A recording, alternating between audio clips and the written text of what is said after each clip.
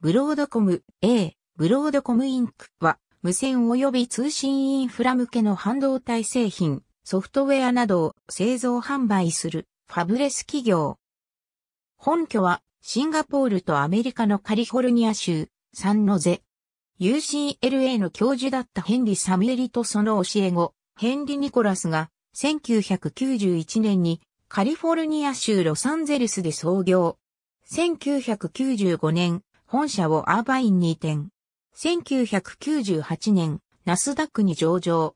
世界各地の15カ国以上で事業を展開し、約1.1万人を雇用。2009年にフォーチュン500にランクインした。ブロードコムには ARM CPU の命令セット設計で知られているソフィー・ウィルソンがいる。2016年2月、ヒューレット・パッカード、アジレントテクノロジーの半導体部門を起源とするアバゴテクノロジーズによる買収が完了。買収に伴いアバゴテクノロジーは社名をブロードコムに変更した。2016年11月、通信機器製造のブロケードコミュニケーションズシステムズの買収を発表した。2018年7月、ソフトウェア開発企業の CA テクノロジーズ買収を発表し公開社化した。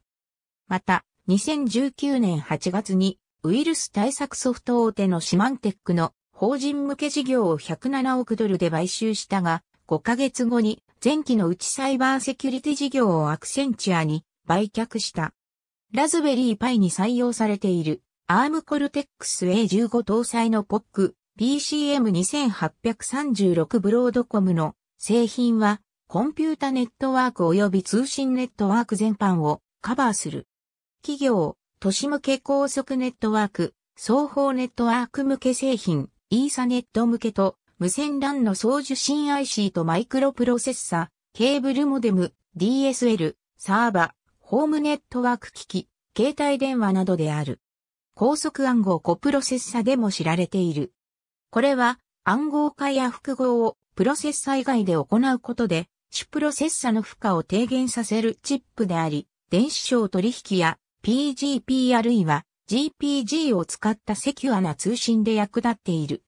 他に通信事業者向けの IC 製品、セットトップボックスやデジタルビデオレコーダ用、プロセッサ、Bluetooth 送受信機、無線 LAN 送受信機、衛星放送対応 TV 用チューナーなども手掛けている。主な顧客として、Apple、ヒューレット・パッカード、モトローラ、IBM、デル、レノボ、リンクシス、ロジテック、ニンテンドー、ノキア、ノーテル、シスコシステムズ、ティーボが挙げられる。2011年9月19日、デジタル TV 用、チップ部門を廃止した。ブロードコムの NIC は、主要ベンダーのワークステーションやサーバ製品に採用されている。マザーボード上にイーサネット NIC が組み込まれている場合でも、マーケティング上ブロードコムの名を出していることが多い。例えば、デルのブレードスイッチ M612 は2つのギガビット、ネットクストリーム 5709NIC が組み込まれている。もう一つの大きな市場は、スイッチ用ハードウェアである。ブロードコムのハードウェアとファームウェアに基づくスイッチング装置がいくつかのベンダーから出ており、ブロードコムのハードウェアを採用しつつ、ファームウェアを独自開発している場合もある。ブロードコムはまた、有名なコンシューマデバイスの部品も多数供給している。2001年2月14日、ブロードコムは AMD の開発したハイパートランスポートの協力企業となり、同年7月14日にはハイパートランスポートテクノロジーコンソーシアムに加入。2004年6月、AMD とのチップセット分野での提携発表し、2005年4月20日にサーバーワークスブランドとして AMD K8 用チップセット HT-2000 を発表。2006年8月15日には AMD K8 用チップセット HT-2100 を発表し、同年10月に量産出荷を開始した。2008年8月25日、AMD よりデジタルテレビ事業1億4150万ドルで買収。パネルプロセッサシュリアンの製造権を取得した。ブロードコムはファブレス半導体企業として知られている。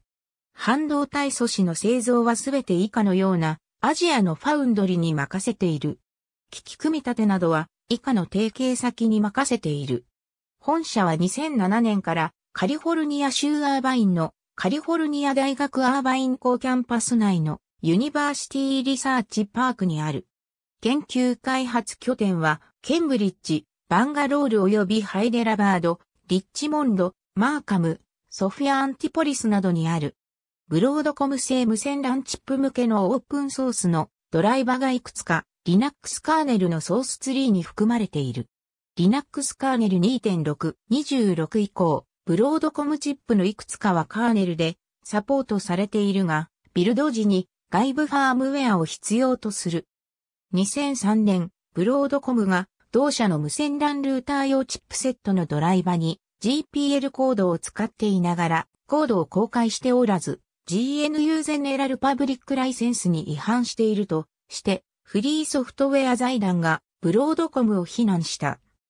そのチップセットはリンクシスが採用し、リンクシスは後にシスコに買収された。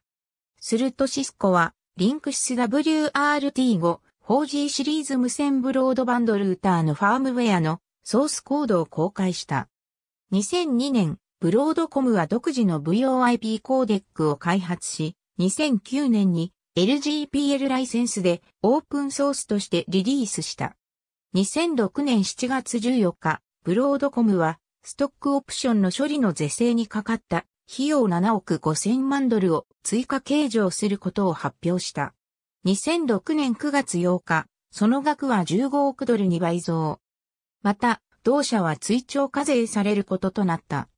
2007年1月24日、1998年から2005年までの会計処理すべき金額は22億2000万ドルに増大した。2008年5月15日、証券取引委員会への申し立てで名前を出された後、サミュエリは会長職を辞任し、CTO として休職した。2008年6月5日、共同創業者で元 CEO のヘンリー・ニコラスと元 CFO のウィリアム・ルーハルは、ストックオプションの不正な日付改ざんで起訴された。ニコラスは、麻薬取締法違反でも起訴されている。しかし2009年12月、検察官が弁護側証人3人の証言を不適切に妨げたとして、連邦判事、コーマック・ジェイ・カーニーは、ストックオプションの日付改ざんに関する告発を退けた。2007年6月、ブロードコムはサンディエゴに本社を置く半導体企業クアルコムが同社の特許を侵害したとして訴え、アメリカ国際貿易委員会はクアルコム製チップを搭載した携帯電話の輸入禁止を命じた。